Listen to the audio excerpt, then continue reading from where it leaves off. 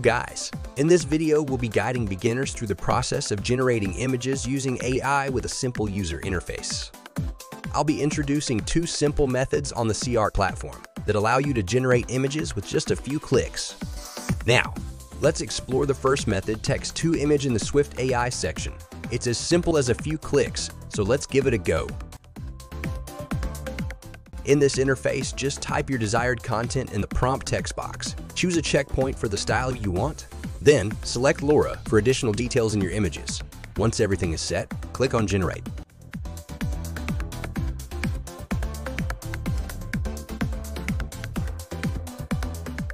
Great, right? Now, let's experiment with another prompt, adding even more details with LoRA.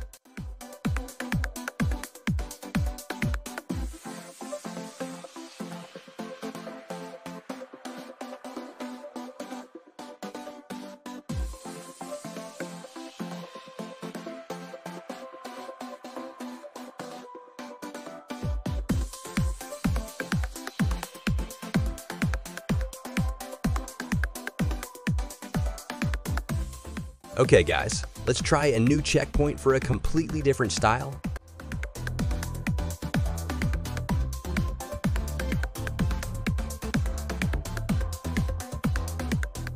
Great! I hope everything is clear. Don't forget you can also adjust the image size and other settings by clicking here.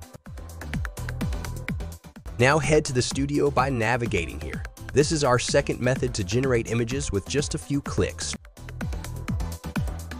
In this section, you'll find various styles with clear explanations. Choose a style, then type a prompt as I'm about to do now. If you watched the intro in this video, you might have noticed that all the images were generated using this studio feature in SeaArt.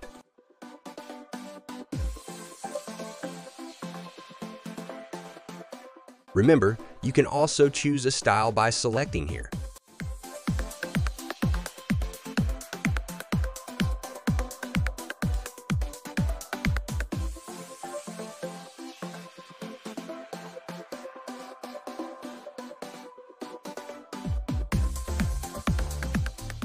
Alright, I hope you've learned a new easy way to generate images and picked up some new tricks. Don't forget to subscribe and share these videos with your friends.